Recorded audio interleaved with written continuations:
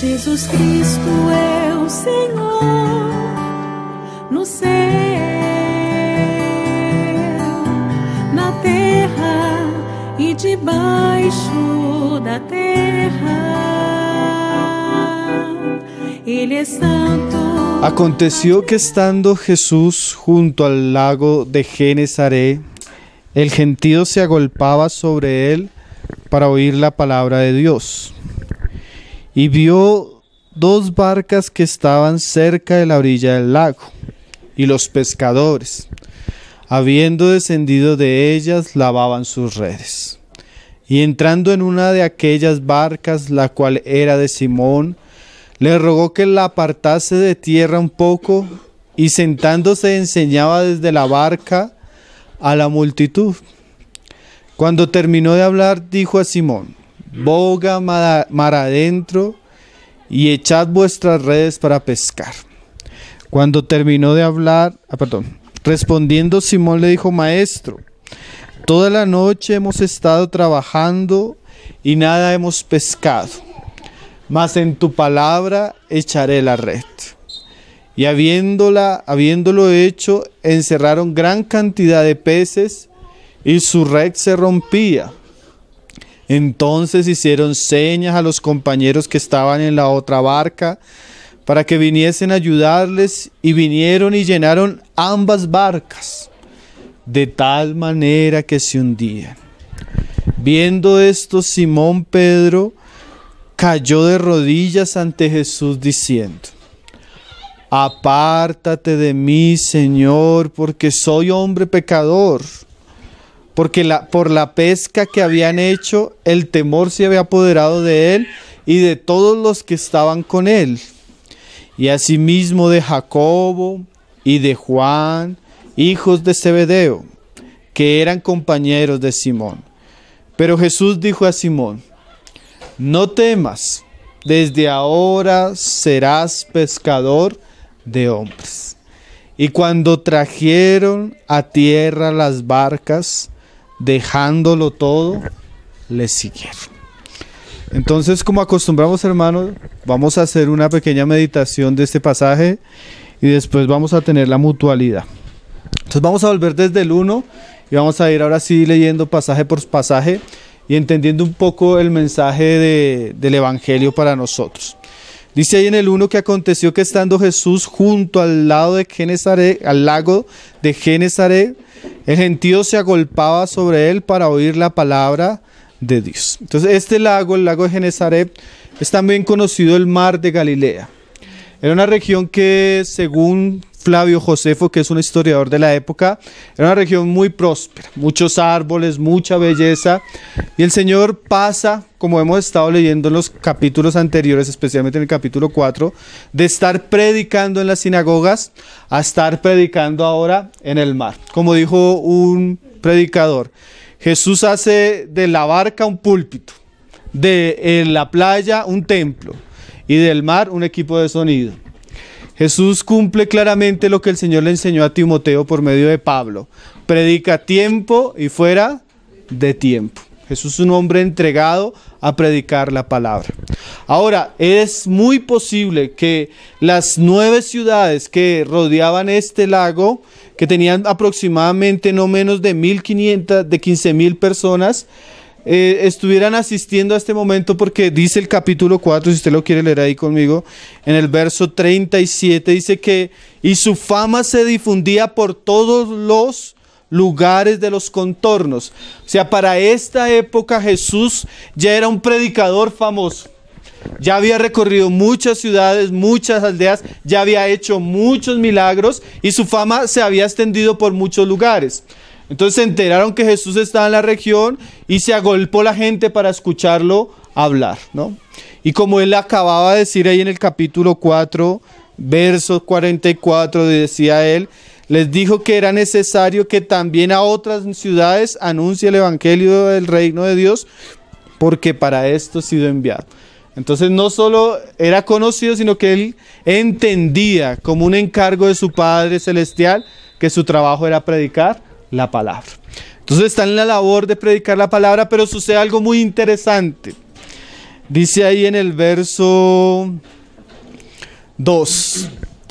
Y vio dos barcas que estaban cerca de la orilla del lago, y los pescadores, habiendo descendido de ellas, lavaban sus redes. Y entrando en una de aquellas barcas, la cual era de Simón, le rogó que le apartase de tierra un poco y sentándose enseñaba desde la barca a la multitud. Ahora es muy interesante que Jesús está predicando, pero él se da cuenta que llega los pescadores, que como lo va a decir más adelante Pedro, llevan toda una noche pescando y no han pescado. Entonces salen de, la, de las barcas, comienzan a lavar las redes y Jesús le pide a Pedro, que ya era un conocido de él, porque en el capítulo 4 leímos que Pedro, Jesús entró a la casa de Pedro y sanó a la suegra de Pedro.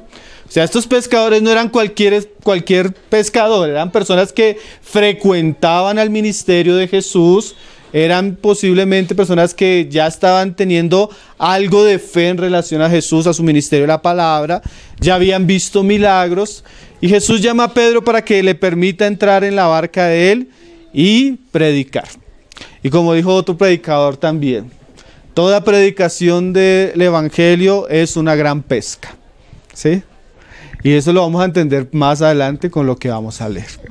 Ahora sigue diciendo. Cuando terminó de hablar, ahí dice en el verso 4, dijo a Simón, boga mar adentro y echa vuestras redes para pescar. Respondiendo Simón le dijo, Maestro, toda la noche hemos estado trabajando y nada hemos pescado, mas en tu palabra echaré la red. Ahora la situación que narra el Evangelio se centra especialmente en Pedro y esto que le pide el Señor a Pedro. El Evangelio hubiera podido narrarnos otras cosas. Hubiéramos podido narrar la predicación que Jesús estaba haciendo. Nos hubiera podido narrar un poco más acerca de las personas que están escuchando. Es más, pudiera habernos narrado más la actuación que tienen los otros pescadores, pero el Evangelio se centra en Pedro en este momento. ¿Por qué? Porque como ustedes van a ver de aquí en adelante, estos pescadores que frecuentaban el ministerio de Jesús, a los que Jesús a veces visitaba en su casa, como leíamos en el capítulo 4, van a tomar un lugar de mucha importancia. Estos pescadores van a llegar a ser los discípulos y los apóstoles de Jesús. Y si usted entiende el mensaje central de este pasaje, está en la obra que el Señor va a hacer en Pedro. Y para hacer esa obra el Señor va a hacer un gran milagro, como ya lo leímos. Y el Señor le dice a Pedro, bueno, Pedro, boga mar adentro y echa tu, red.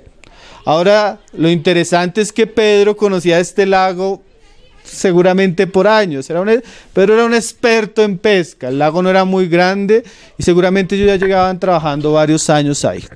Habían pasado toda la noche pescando y no habían recogido nada.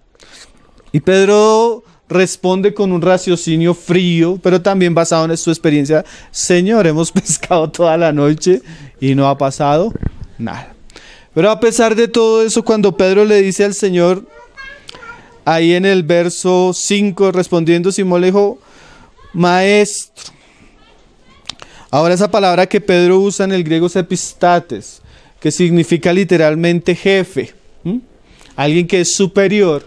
Entonces, a pesar de que Pedro en su experiencia sabe que no va a pescar, porque ha pasado toda la noche y no ha sucedido, él reconoce que Jesús es su maestro, él ha visto el ministerio de Jesús, ha visto los milagros de Jesús y tiene cierto respeto por Jesús, si lo podemos decir. Y en base al respeto que tiene por Jesús, dice, pero bueno, en tu palabra vamos a charlar.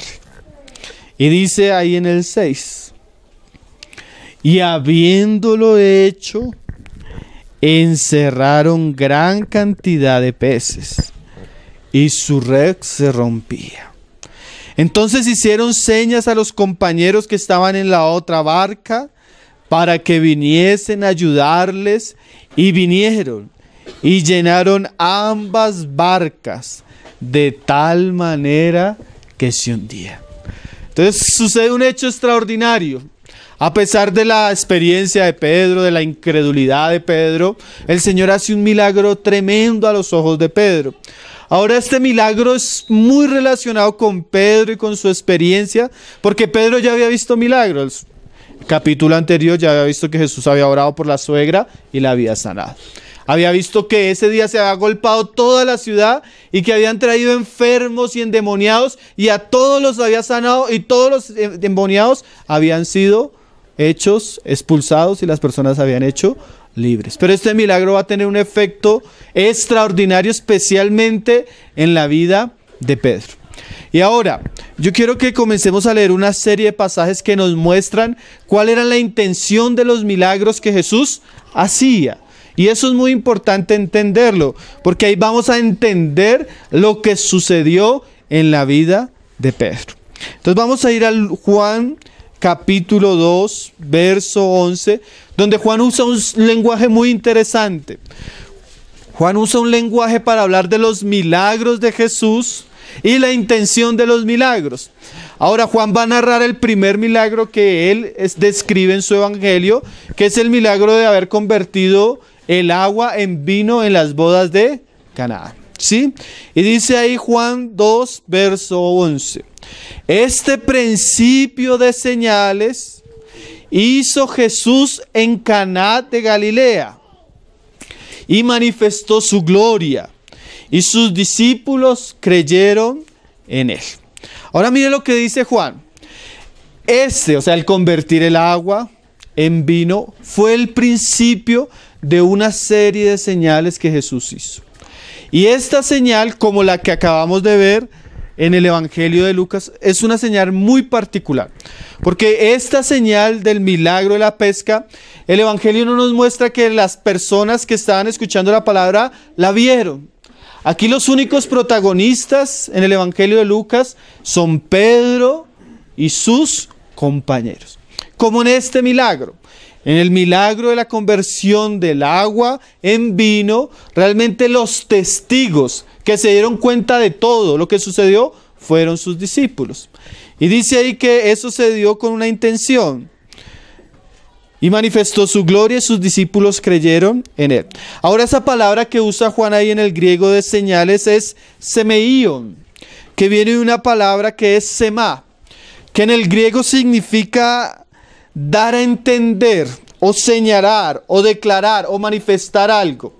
O sea que las señales o los milagros que Jesús hacen no es sí para atraer la mirada al milagro, sino el milagro es una señal que apunta a algo que enseña algo, que manifiesta algo. Y eso es muy importante, porque la señal de la pesca milagrosa delante de los ojos de Pedro era una señal también, era una, una manifestación de la gloria de Cristo con la intención especialmente de que Pedro creyera en él.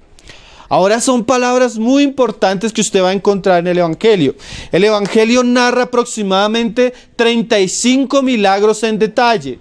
Jesús hizo muchos más, pero los que se relatan con detalle tienen una intención, son una señal. O sea, ellos apuntan a algo, manifiestan algo.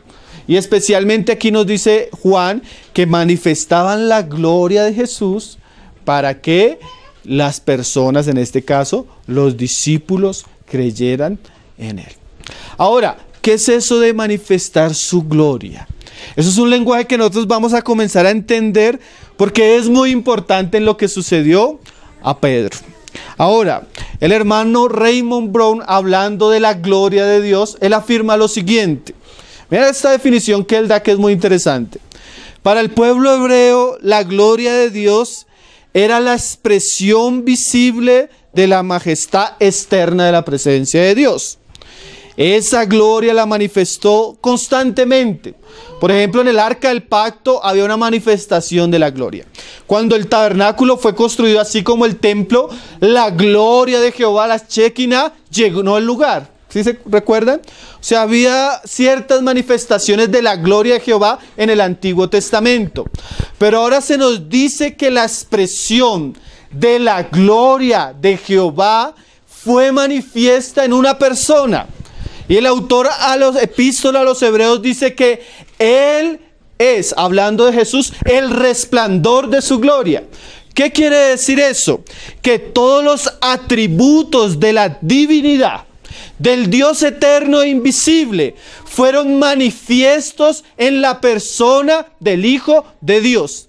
Tanto que la Biblia dice que Él es la imagen del Dios invisible.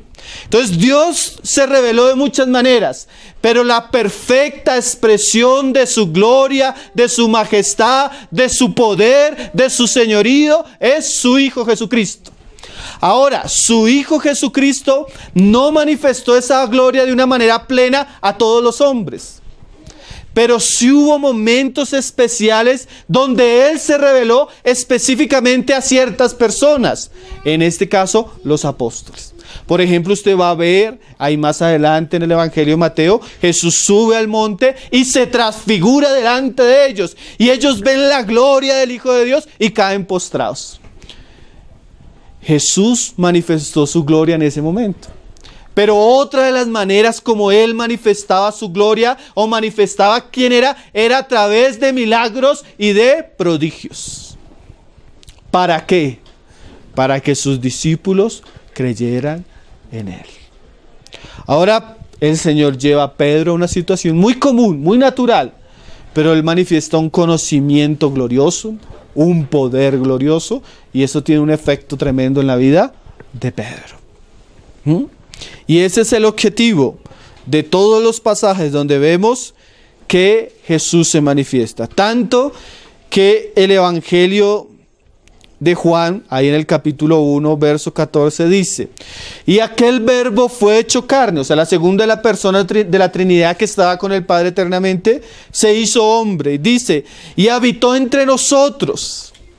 Y eso ya es glorioso, que el Hijo eterno de Dios hubiera hubiera hecho, hecho carne, hubiera vivido en Israel, hubiera nacido, hubiera crecido, eso era algo glorioso. Pero ¿saben qué, hermano? La mayoría de personas no sabía ni quién era Él. Porque Él habitó entre nosotros, pero no solo quedó ahí, sino habitando entre nosotros, como dice el Evangelio de Juan, manifestó algo, dice ahí. Y vimos su gloria. Si ve que Juan no solo habla de señales, Juan hubiera podido decir como Nicodemo, nadie, maestro, nadie hace las señales que tú haces. Pero Nicodemo solo vio las señales, pero no vio la gloria de aquel que hacía las señales. Y eso es muy diferente, hermano. Usted puede considerar a Jesús un buen maestro. Es más, usted puede ser un seguidor como Pedro que ha ido a escuchar a Jesús y ha abierto, ciertos milagros particulares, pero una cosa es ver eso y otra cosa es ver la gloria del Hijo de Dios y que esa gloria lo transforme. Que esa gloria lo haga un verdadero creyente. Que esa gloria mude su experiencia y su vida para siempre. Que es lo que va a suceder en la, en la experiencia de Pedro hoy, que estamos leyendo hoy. Dice Juan, y vimos su gloria. Qué cosa tremenda, ¿no, hermanos? Y dice, y agrega, gloria como el unigénito del Padre. También en el griego podría traducirse como el unigénito Dios. ¿Mm? Juan vio eso y tanto que Juan dice que ese es su mensaje. Porque él dice en primera de Juan Dice, así, lo que hemos visto y oído, ¿qué? Esto anunciamos. Y hay otro pasaje ahí en el Evangelio de Juan, si quiere leerlo conmigo, ahí en el capítulo 20, verso 30. Dice, hizo también, además Jesús, muchas otras señales en presencia de sus discípulos. O sea, estas que se nos narran en el Evangelio no son las únicas. Hizo muchas más, pero las muchas más no están escritas. Nosotros estamos leyendo, gracias al Señor, las que están escritas, dice, las cuales no están escritas en este libro, pero estas se han escrito. O sea, ya no solo ellos vieron, ya no solo ellos creyeron, ellos anunciaron, sino también escribieron. Gracias al Señor por eso. ¿Para qué? pero estas se han escrito para que creáis que Jesús es el Cristo, el Hijo de Dios, y para que creyendo tengáis vida en su nombre. O sea que esto que estamos haciendo hoy es tan bueno, hermanos, porque nuestra fe en Jesús no debe ser una fe emocional, no debe ser una fe circunstancial, sino que la verdadera fe viene como, hermano, por el oír y el oír la palabra de Dios. Ahora la palabra de Dios nos narra hechos históricos donde Jesús manifestó su poder y leyendo y viendo esos hechos podemos creer que Jesús es el Hijo de Dios. Y creyendo en eso podemos llegar a tener que vida eterna. Ahora, entonces vamos a ir entendiendo por qué el Señor lleva a Pedro al mar y le dice, Pedro, manda la, la, la red, echa la red. ¿Cuál era la intención del Señor? Manifestar su gloria. Para que Pedro al ver la gloria del Señor en este evento milagroso, Pedro pudiera creer y Pedro pudiera ser transformado. Amén. Y ahora nosotros lo estamos leyendo también para que podamos creer. Y dice, volvamos al Evangelio. Lucas 5, ahí en el 8, perdón. Viendo esto, ay, el Señor, quería que Pedro viera esto. Qué bueno, ¿no? Señor quería que Pedro viera esto. Simón Pedro cayó de rodillas ante Jesús. Por eso les decía que este era el motivo particular de Cristo. Si él estaba predicando, era parte de su ministerio, pero él tenía visto era a los pescadores que estaban ahí. Porque él iba a hacer algo con estos pescadores. ¿Qué era él lo que iba a hacer? Manifestarle su gloria a Pedro de una manera tan particular, de tal modo que al Pedro al ver la gloria del milagro, Pedro cayera postrado ante Jesús. Y ese es el objetivo de cualquier verdadero milagro, cualquier milagro que nosotros encontramos en, en el Evangelio, hermano. Jesús no estaba interesado en hacer espectáculos como los que se hacen hoy en día. Jesús no estaba interesado en llenar el morbo de aquellos que estaban viendo. Jesús estaba interesado en quebrantar el corazón de los hombres de tal manera que los hombres cayeran postrados ante Él. Ese es el verdadero objetivo al Jesús revelarse, al Jesús predicar, al Jesús hacer, al Jesús hacer señales y milagros y prodigios. Pedro cayó qué? Postrado. Y usted va a ver que es una constante. Cada vez que Jesús se revela verdaderamente a un hombre, el hombre no tiene otro camino que caer postrado. Mire lo que sucedió en el, en el libro de Hechos. Hechos capítulo 9, verso 3. Ahora esta situación es muy particular, porque mire, como les decía ahora, Pedro ya había escuchado predicar a Jesús en la sinagoga. Pedro ya había visto a Jesús hacer milagros, sanar enfermos. Pedro ya había sido testigo. Es más, es posible, algunos comentaristas dicen que Jesús se hospedaba en la casa de Pedro. Pero no, ningún evangelio nos había dicho que Pedro había caído postrante. Y esto es una, esto es una imagen separadora de aguas. Una era, era el Pedro que antes seguía a Jesús, que, que veía que Jesús era como un profeta, que el mensaje era que hacía milagros. Porque hasta este momento nosotros teníamos en la historia profetas que habían hecho cosas parecidas. Moisés hizo cosas tremendas, hermano. Elías hizo cosas tremendas, Eliseo hizo cosas tremendas. Pero aquí Jesús comienza a separar. Porque cuando Él comienza a mostrar su gloria, ya Pedro comienza a darse cuenta que este Jesús no es cualquier profeta. Y eso es bien importante, hermano. Dice aquí otro, Pablo. Dice, más yendo por el camino, Hechos 9, verso 3, aconteció que al llegar cerca de Damasco, y mira esta frase, repentinamente le rodeó un resplandor de luz del cielo. Otra situación, pero la imagen es la misma. Resplandor de qué? De gloria. ¿Y qué pasó con Pablo cuando vino ese resplandor de gloria del cielo? Dice, y cayendo en tierra. Igual que Pedro, Pedro cayó qué? Postrado.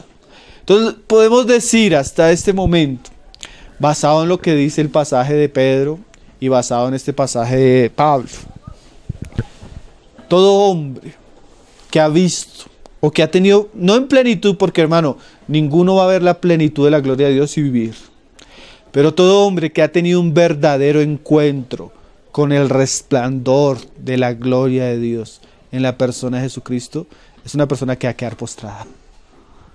Es una persona que va a ser doblegada. Ante la luz de la majestad divina, ninguno puede estar en pie. Todos caemos, hermanos. Y eso es lo que debería ser el verdadero evangelio. Mira lo que Pablo dice más adelante, ahí en 2 Corintios capítulo 4, verso 5. Porque ahora alguno dirá, bueno, pero yo quiero conocer a Dios y por qué Dios ahora no se me aparece como se le apareció a Pablo.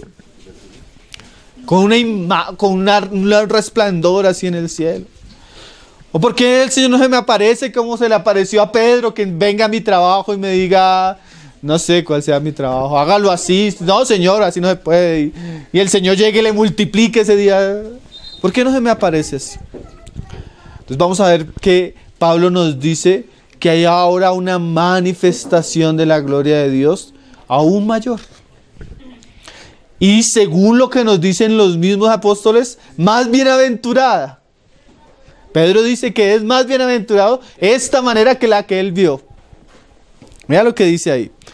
Según de Corintios capítulo 4, verso 5 dice, porque no nos predicamos a nosotros mismos, sino a Jesucristo como Señor y a nosotros como vuestros siervos por amor de Jesús. Porque Dios, mira esta frase, que mandó que de las tinieblas resplandeciese la luz, es el que resplandeció en nuestros corazones para iluminación del conocimiento de la gloria de Dios en la faz de Jesucristo. Qué pasaje tan glorioso, hermano. Mira lo que está diciendo Pablo. No nos predicamos a nosotros mismos. Lo primero que dice Pablo. Primero, ¿qué no hacemos? Entonces, ¿qué hacemos? Él decía, predicamos a Jesucristo. Ahora, ¿por qué predicamos a Jesucristo? Porque Dios mandó que de las tinieblas resplandeciese la luz. ¿Y cómo? En nuestros corazones para iluminación del conocimiento de la gloria de Dios en la faz de Jesucristo. Entonces, la predicación del Evangelio, verdadera, pura y santa, no tiene como fin traerle promesas terrenales a las personas. No tiene como fin motivar a las personas a superarse como hombres, ni a prosperar. La predicación gloriosa y genuina del Evangelio tiene como fin abrir los ojos de las personas para que conozcan la gloria de Dios en la persona gloriosa y majestuosa de nuestro Señor Jesucristo. De tal manera que el corazón entenebrecido sea alumbrado por el Evangelio de Dios y la persona al ver el glorioso Evangelio de Dios, a Cristo crucificado, entregado por amor a Él, la persona caiga postrada ante la cruz de Cristo. Entonces lo que ellos experimentaron con experiencias particulares, ahora Dios mandó que fuera experimentado a través de la predicación del Evangelio. Por eso cuando usted comienza a escuchar la palabra gloriosa, santa y poderosa de Cristo, hay una sensación de gloria acerca de la majestad de Jesús, pero también hay una sensación de pequeñez y de maldad en nuestro corazón. A tal punto que cuando comenzamos a escuchar el Evangelio predicado de una manera verdadera, el Evangelio comienza a alumbrar y generalmente nosotros lo único que queremos es buscar dónde escondernos. Porque la gloria de Cristo revelada a través de su palabra. Pero tiene el mismo fin, hermano, que tuvo en Pedro y que tuvo en Pablo. ¿Cuál es el fin? Que los hombres caigan postrados ante Cristo. Ahora yo le pregunto a usted, ¿ha tenido usted esa experiencia de escuchar poderosamente el Evangelio y que sus ojos son abiertos ante la majestad y gloria del Hijo de Dios de tal manera que usted ha caído postrado? ¿Ha tenido usted esta experiencia divisora de aguas? Donde sus ojos han visto al Rey de Reyes. Como dice el autor de Hebreos, que hemos visto a Jesús sentado a la diestra. Ya no, mira lo que tremendo que dice el autor de Hebreos, que no sabemos quién es el autor. Pero mira lo que él dice. Yo ya no veo a Jesús haciendo milagros en la sinagoga. Yo ya no veo a Jesús multiplicando los peces en el mar. Yo ya no veo a Jesús partiendo el pan y multiplicando el pan. Yo ya no veo a Jesús resucitando a la hija de fulano de tal o sanando a la mujer con flujo de sangre. Ahora vemos a Jesús mismo sentado a la diestra de la majestad. esto es glorioso, hermanos. Esto es una persona que tiene los cielos abiertos y ve a Jesús en su gloria. Hermanos, nosotros hemos rebajado el Evangelio en nuestra generación. Ya no se predica Jesús y su gloria y su muerte y su resurrección y su majestad, sino predicamos un Jesús que viene como un Papá Noel y complace los deseos de las personas. Que las personas pueden venir, burlarse de él y vivir su vida como si no pasara nada, sin confesar nunca que Él es un Señor, que Él es el Señor. Qué cosas, ¿no, hermanos? La gloria de Cristo ha sido opacada por el falso evangelio que se predica en nuestros días. Un evangelio humanista centrado en las necesidades de los hombres, que solo complace los deseos de los hombres, mas que no manifiesta la gloria verdadera del Hijo de Dios. ¿Mm? ¿Y qué es el propósito? Dice Filipenses 2, verso 10, para que en el nombre de Jesús se doble toda rodilla que están en los cielos y en la tierra y debajo de la tierra y toda lengua confiese que Jesucristo es el Señor para gloria de Dios Padre. Qué cosas, ¿no? El Señor está interesado. El Padre, nuestro Dios y Padre, está interesado que las personas puedan conocer la gloria de Él en su Hijo. Y una vez viendo esa gloria, caigan postrados y confiesen que Él es el Señor. Y usted va a ver que eso tiene un efecto transformador en la vida de Pedro. No va a ser el mismo pescador. Nunca más. Nunca más va a ser Pedro cuando conoce. Cuando una persona conoce a Cristo y su gloria, hermano, nunca más va a ser la misma. ¿Mm? Volvamos ahí a Lucas 5.8. Entonces, como les decía, hermano, esta barca es muy importante. Ahora el pescador de peces fue pescado por el gran redentor. El Señor lo iba a llevar a Pedro para salvar la vida de Pedro. Y dice ahí, viendo esto Simón Pedro, cayó de rodillas ante Jesús diciendo, hermano, necesitamos enseñar a orar a las personas. mira que debería orar una persona que está conociendo a Jesús.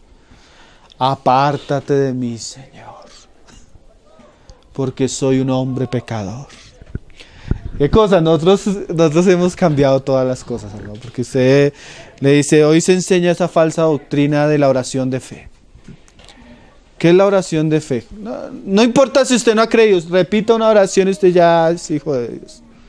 la persona repite una oración pero no tiene convicción, no tiene transformación, ni siquiera se le ha predicado el Evangelio. Se le predicaron cuatro pasos y haga una, una oración. Pero cuando una persona tiene un encuentro con Jesús, tiene también un encuentro con algo que es muy real y es su naturaleza pecaminosa. Una vez le preguntaban, eh, un joven le contaba a Paul Watcher que, que él se había encontrado con Jesús. Entonces el hermano le dijo, ¿y te encontraste con tu pecado? Y eso parece una, una pregunta chistosa. Pero cuando la gloria de Dios es revelada, es como la luz, hermano. ¿Sí? La manifestación de la gloria, es como luz que sale de la presencia de Dios. Y generalmente cuando la luz viene, el hombre ve su condición. ¿Se acuerda qué pasó cuando Adán y Eva pecaron? ¿Quedaron qué? Desnudos. Y cuando ellos quedaron desnudos, quisieron esconderse. ¿Por qué? Porque su conciencia les acusaba de que habían quedado en una situación de indignidad. Ahora, esa misma situación sucede cuando viene el Evangelio. El Evangelio es para salvación, pero primeramente el Evangelio para salvarnos nos tiene que condenar. ¿Qué quiere decir eso? Tiene que mostrarle a nuestra conciencia nuestra realidad. ¿Cuál es nuestra realidad? Estábamos perdidos. ¿Cuál es la realidad? Que estábamos muertos en delitos y pecados. ¿Cuál es nuestra realidad? Que éramos esclavos y miserables en esa condición. ¿Cuál es la realidad? Que no podíamos librarnos de ella. Esa era la realidad de nosotros, hombres muertos. Y Pedro al ver la gloria de Jesús, le sucede lo mismo que le sucede a Isaías. Cuando él ve los cielos abiertos y ve los querubines y ve la gloria y la majestad de Jehová y comienza a escuchar santo, santo, santo, Jehová de los ejércitos, toda la tierra está llena de tu gloria, que grita Isaías, ay de mí que soy un hombre de labios inmundos y habito en un pueblo de labios inmundos y mis ojos han visto a Jehová de los ejércitos. ¿Qué está diciendo Isaías? Sáquenme de aquí. Como yo siendo indigno en un pueblo indigno puedo ver la gloria de Jehová de los ejércitos? Es porque no hay un hombre que no tenga un encuentro genuino con Dios que no vea su condición, hermanos. Nuestras primeras experiencias con el Evangelio siempre van a tener lágrimas, hermano. Siempre va a haber una sensación de vergüenza, de indignidad. ¿Mm? Que es la, la sensación natural cuando un hombre pecador está siendo acercado a un Dios santo. ¿Sí? Si usted estuviera acercándose al vecino, bueno, no hay problema. Y aún así, si usted está desnudo y llega alguien, usted se siente avergonzado. ¿Sí? ¿Cuánto más si somos presentados delante de aquel que es santo, santo, santo? El problema era que Pedro no sabía quién era él. Hasta ahora le estaba comenzando a conocer. Y así a veces nosotros. Y más si estamos en ese tipo de cristianismo falso en nuestros días. Vamos a cultos, escuchamos shows, vemos cantantes cristianos, nos roban el bolsillo y no nos hablan de Jesús. Entonces, ¿qué vamos a ser impactados con la gloria del Señor si la iglesia hoy en día es un circo, hermano? Pero cuando usted comienza a escuchar un mensaje claro, donde le abren las escrituras, donde le muestran a quién era Jesús, usted comienza a sentirse así como Pedro. Ay de mí. Apártate de mí. Cuando usted comience a orar así, usted va en camino a la salvación. Señor, ¿por qué me buscas a mí? Apártate de mí, que soy un pecador, Señor. ¿Cómo me estás llamando a mí que soy indigno, Señor? ¿Mm?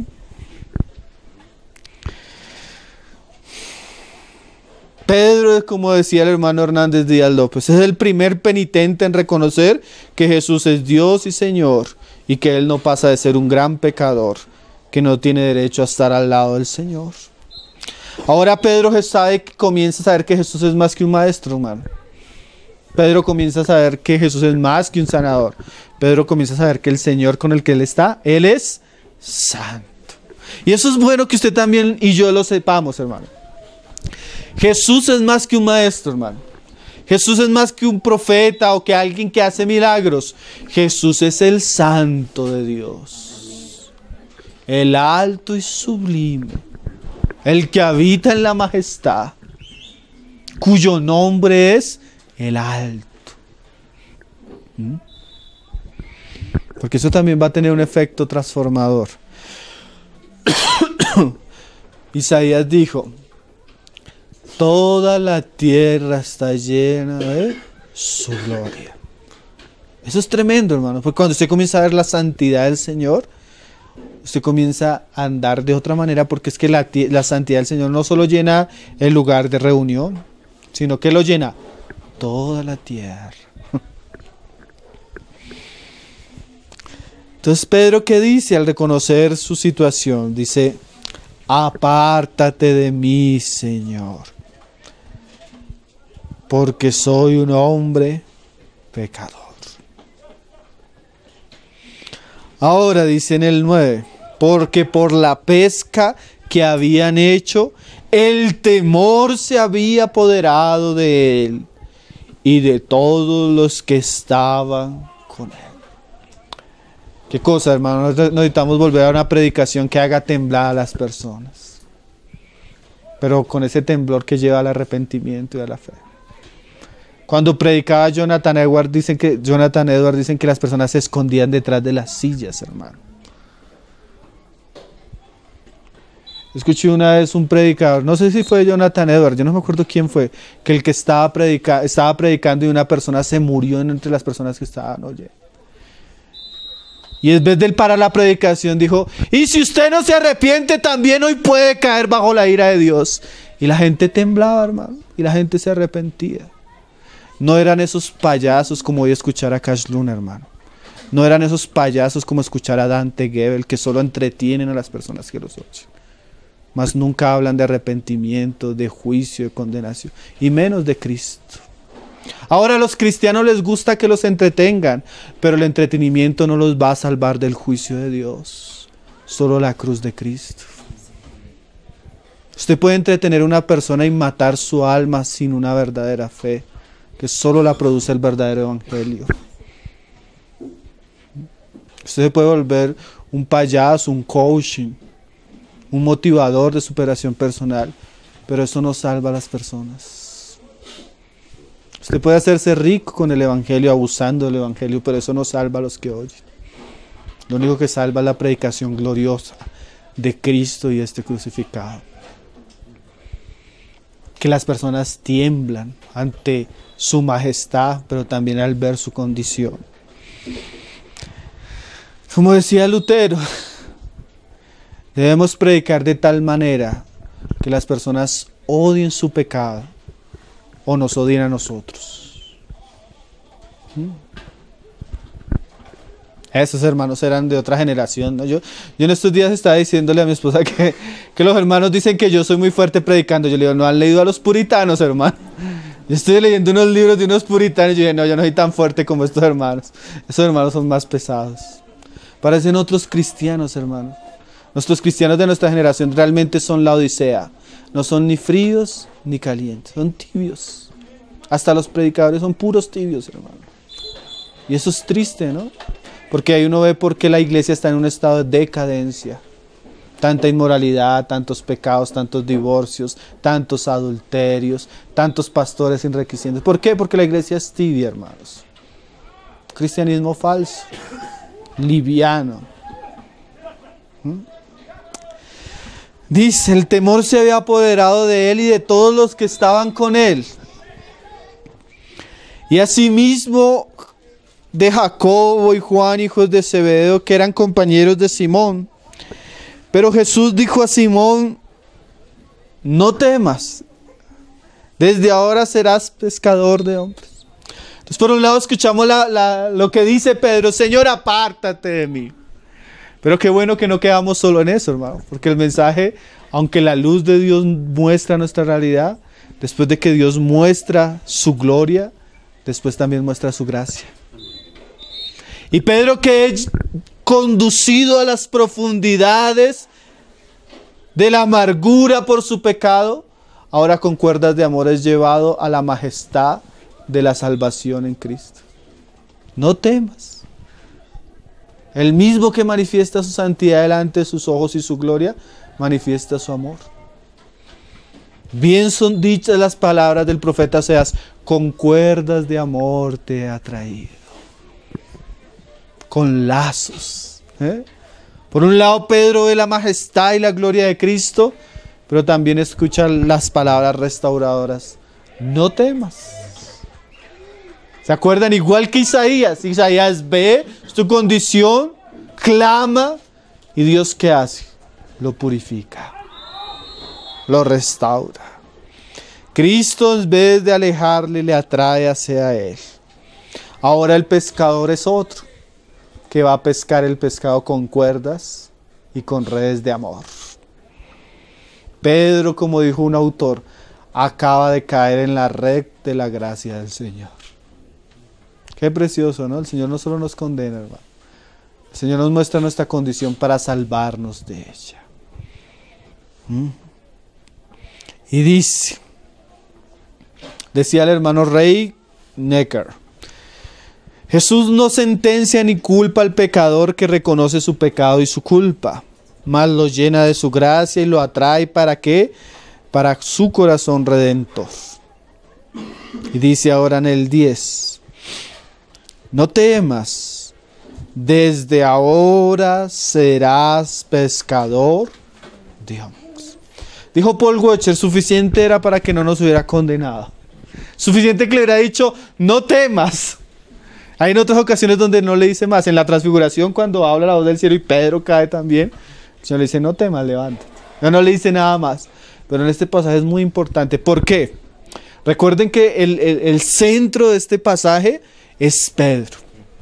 Y el centro de esta situación es transformar a Pedro, no solo para que Pedro sea alguien salvo y perdonado, no solo para que Pedro vea la manifestación de la gloria del Señor, es parte.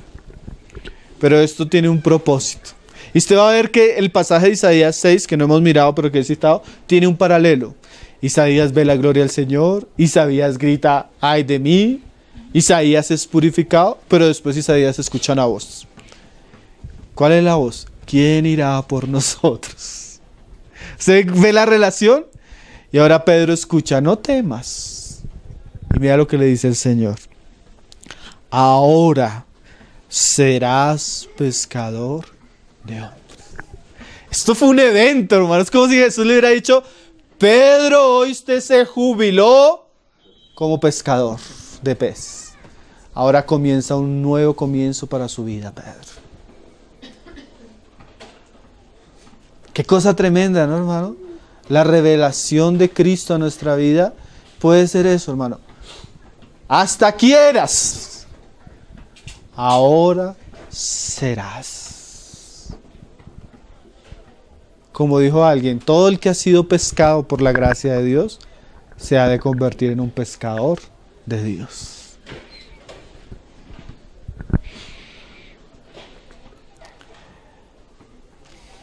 Pedro era pescador de peces, pero ahora el Señor lo iba a hacer, iba a hacer algo diferente con él. Hay Marcos 1.17, que es un pasaje paralelo, nos aclara un poco más algo que Jesús dice que no cita el Evangelio de Lucas.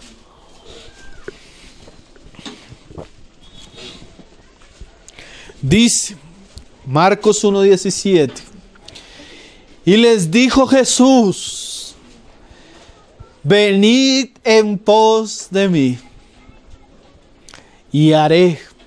Ese haré es muy importante, hermanos. Haré que seáis pescadores de hombres. Pedro, ah, ustedes ya habíamos visto, Pedro tenía experiencia en pescar, hermano. Pedro en ese asunto, él lleva toda la vida trabajando en eso. Ahora Pedro va a ser involucrado en un asunto donde no depende de él.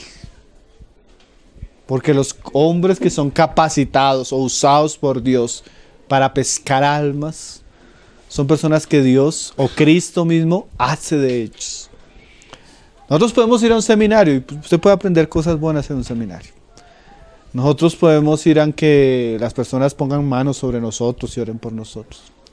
Pero hay algo que solo hace la voluntad divina. Cristo es el que hace de nosotros instrumentos. Venid en pos de mí y haré. Entonces nuestra responsabilidad qué es? Claro que a veces debemos aprender muchas cosas que la palabra habla sobre evangelismo, los principios bíblicos, la manera como Jesús evangelizaba a los apóstoles. Eso es bueno, pero nuestra principal ocupación es ir a Cristo, porque es Cristo el que hace de nosotros. ¿Sí? Venid en pos de mí. O sea, la revelación de Cristo tiene como fin a Pedro a traerlo a quién? A él mismo. Porque como Jesús más adelante lo explica en la, en la parábola de la vid verdadera del Señor, dice, alejados de mí. Ah, pues. O sea que cualquier ministerio genuino, glorioso, eficaz, se basa en la relación que la persona tenga con Jesucristo. En eso se basa nuestra afectividad. Una vez yo no, creo que le preguntaban al hermano al hermano Baksin de la India. Hermano, ¿cuál es la clave de su ministerio? Explíquenos cuál es la clave de nuestro ministerio. Y él decía, mucho tiempo delante de Dios, poco tiempo delante de los hombres. Ahí está la clave, hermanos.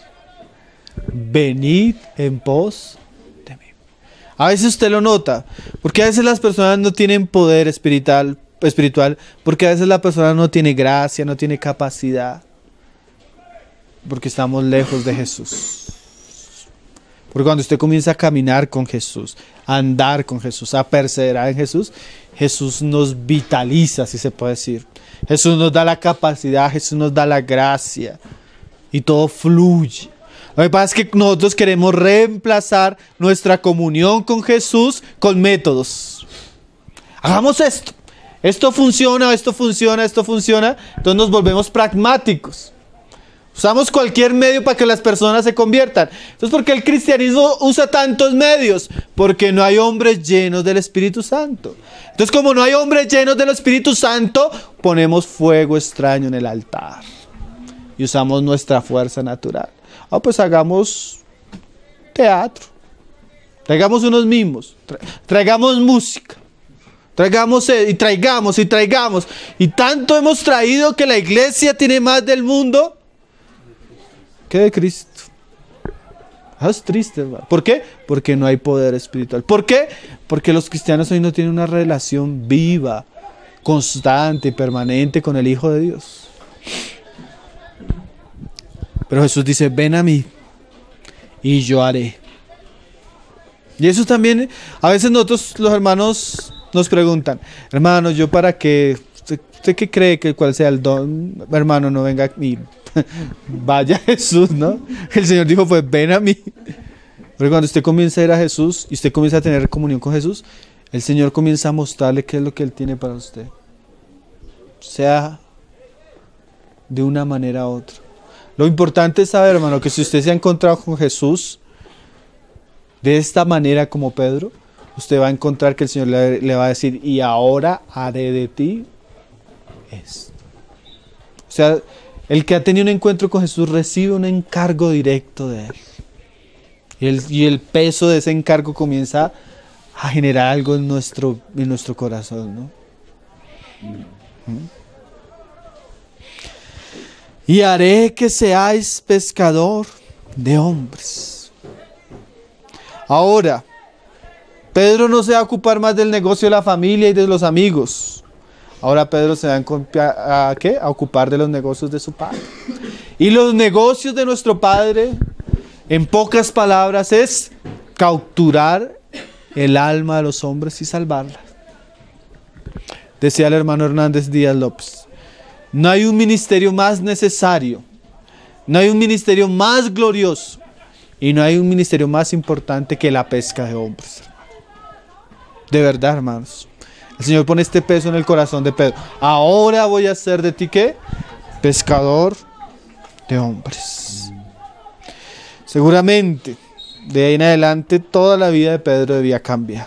Y eso lo vemos en el verso siguiente, en el 11. Lucas 5, 11. Y dice, y cuando trajeron a tierra las barcas, dejándolo todo, les siguieron. Ahora Pedro comienza una nueva vida. Ahora Pedro lo deja todo para comenzar a seguir a su maestro. Y ciertamente lo que Jesús dijo de Pedro se cumplió. Pedro llegaría a ser el gran pescador en Pentecostés a los, a los judíos. Pedro llegaría a ser el gran pescador a los gentiles en la casa de Cornelio. Y Pedro se vuelve entre los apóstoles un líder un hombre usado por el Señor, que iba a vivir muchas cosas. También es importante saber que este haré no iba a ser inmediato.